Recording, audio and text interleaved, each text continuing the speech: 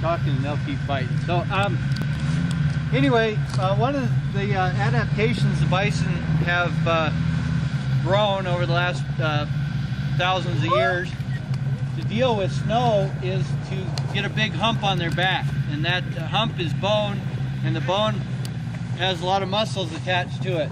They use that uh, big head and big hump to push the snow out of the way to get to the grass below. And also to fight and push each other around. Um, elk don't have that hump. They use their hooves to, to brush the snow out of the way to get to that grass. Now they're friends.